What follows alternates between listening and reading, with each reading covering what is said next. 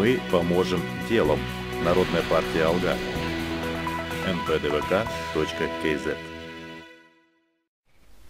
Жители села Козложар Полдарской области, отчаявшись получить заработную плату на местной птицефабрике, 8 декабря вышли на трассу Павлодар-Омск и перекрыли движение по ней. Мы хотим деньги, мы хотим кушать, вы понимаете? Мы хотим свою зарплату, мы чужого ничего не просим. Мы хотим чисто свои деньги заработать, которые мы сами своим горбом заработали. Как рассказали сами жители села, выйти на трассу их заставило отчаяние.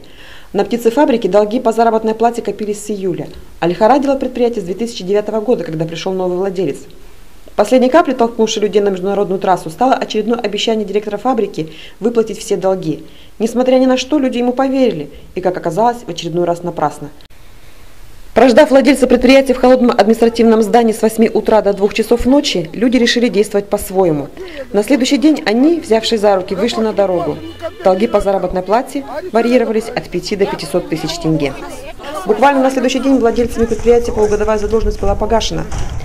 Органами внутренних дел возбуждено уголовное дело за неоднократную задержку заработной платы. Параллельно финансовая полиция рассматривает возможность возбуждения уголовного дела по факту сознательного доведения до банкротства. Однако сами сельчане не сомневаются, что если бы не предстоящие 20-летие независимости Казахстана, недалекие выборы, не видать бы им своих денег.